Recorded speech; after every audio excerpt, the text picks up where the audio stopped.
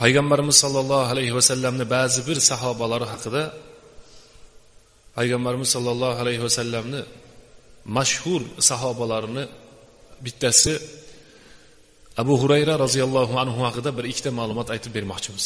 Hadislarni rivoyat qilgan sahobalarni imomi va ularni eng mashhuri eng kattasi eng ilmligi zehn zakovati eng kuchligi payg'ambarimiz sollallohu alayhi vasallam yaxshi ko'radigan payg'ambarimiz sollallohu alayhi vasallam o'ziga duo qildi onasiga duo qildi.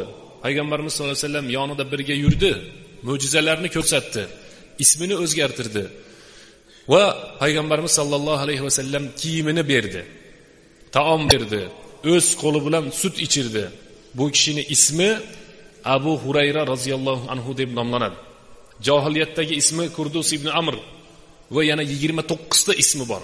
Abdushams shunga o'xshagan ismlari. Islom diniga kirgandan keyin payg'ambarimiz sollallohu alayhi vasallam abdurahmon ibn sahr deb nomladi. Mo'min musulmonlar bu kishini abdurahmon ibn sahr deb emas balki abu hurayra deb taniydi. Nima sababdan?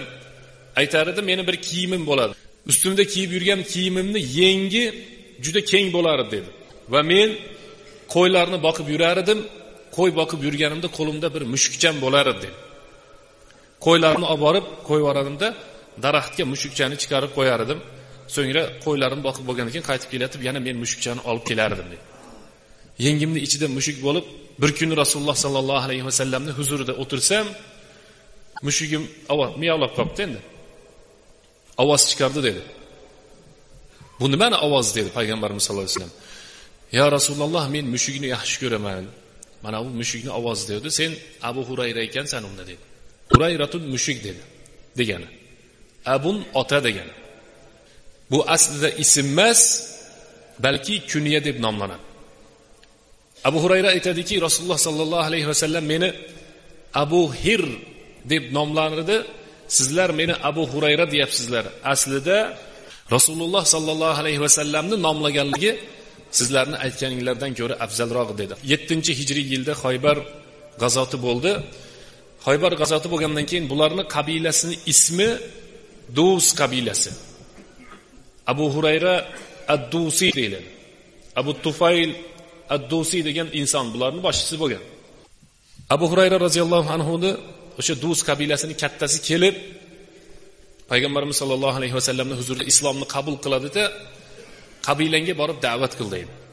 Da'vat qilganda birortasi qabul qilmaydi islomni qaytib keladi yo rasululloh qabul qilmayapti islomni bular deydi.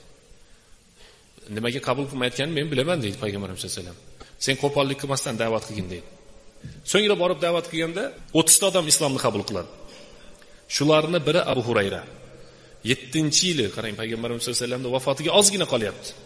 Yettinchi yili keladi.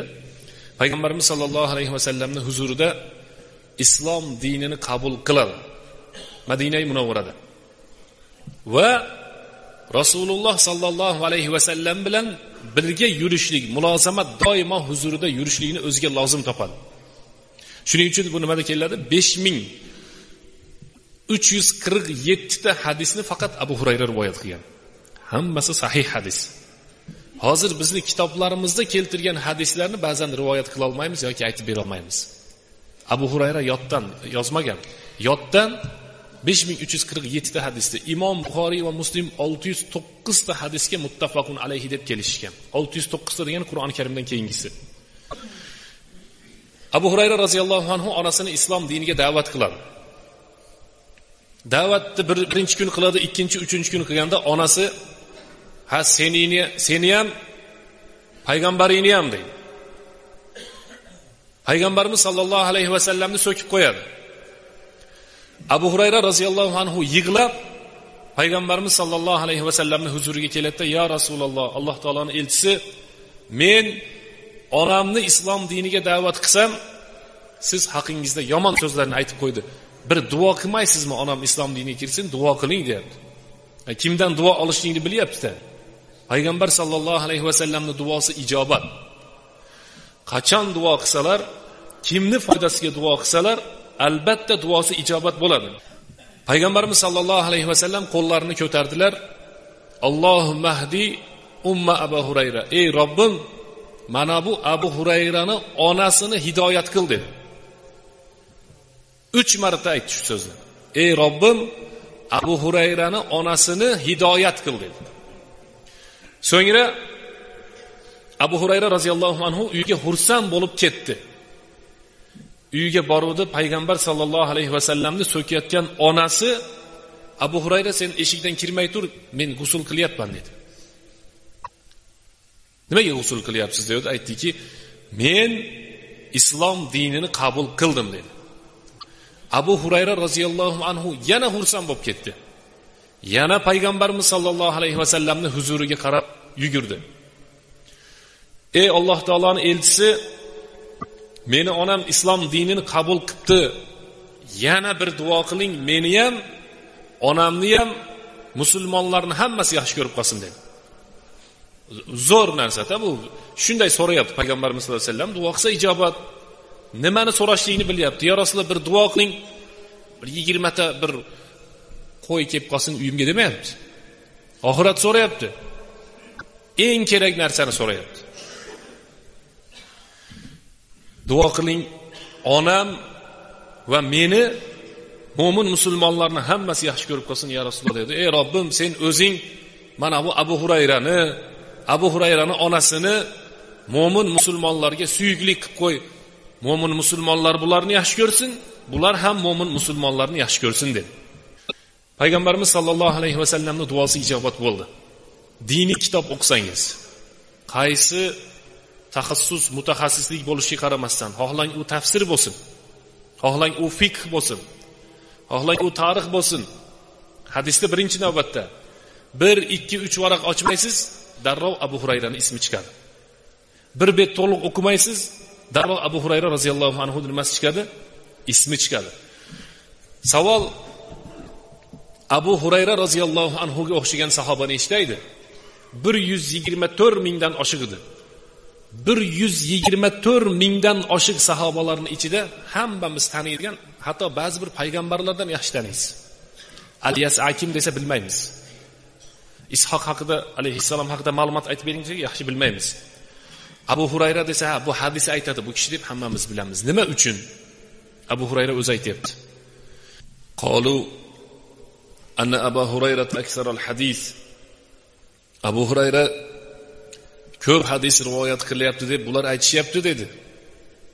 Muhojir va ansorlarga aytyapti. Ya'ni sahobalarga aytyapti. O'zi ham sahobayu bergi sahobalardan o'zini darajasini tushuntirib aytyapti. Qolu anna abu hurayra al hadis abu hurayra ko'p hadis aytyapti deb menga aytishyapti. Muhojirlar savdo sotig'i bilan ovora bo'lib turgan paytda ansorlar dehqonchiligi bilan ovora bo'lib turgan paytda kuntu ulazimu rasulullohi sollallohu alayhi vasallama ala shibi botni dedi.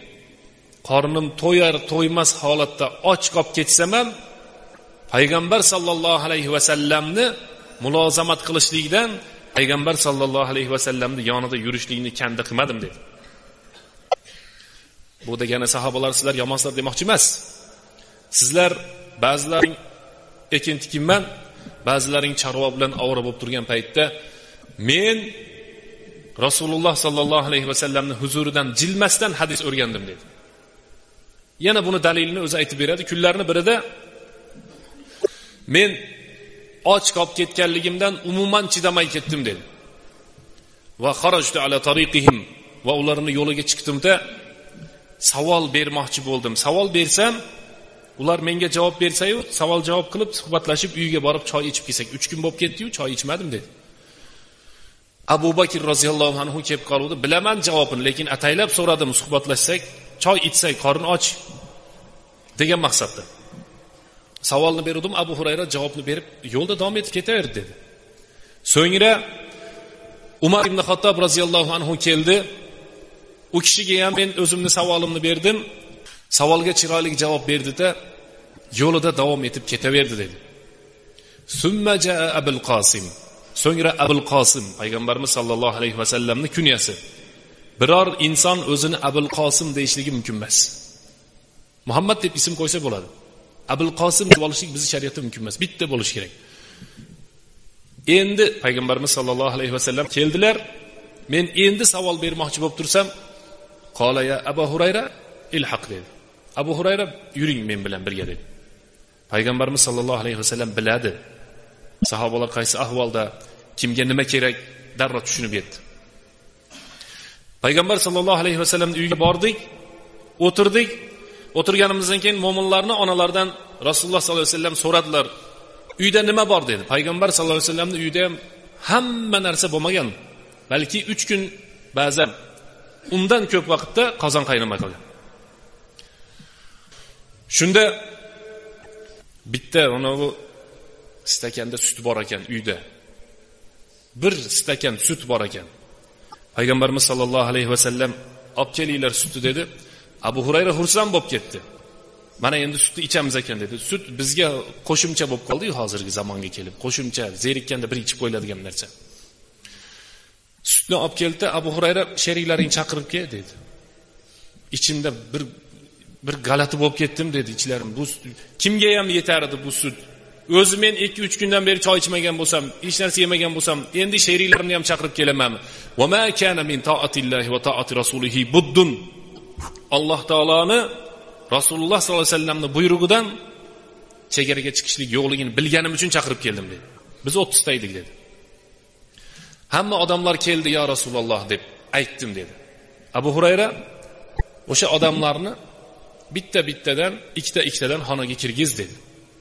Xonaga kirgizuvdim payg'ambarimiz sollallohu alayhi vasallam boyagi sutga duo qilib bu mo'jizalardan baraka bersin deb abu hurayrani o'zini qo'liga ushlatib qo'ydi.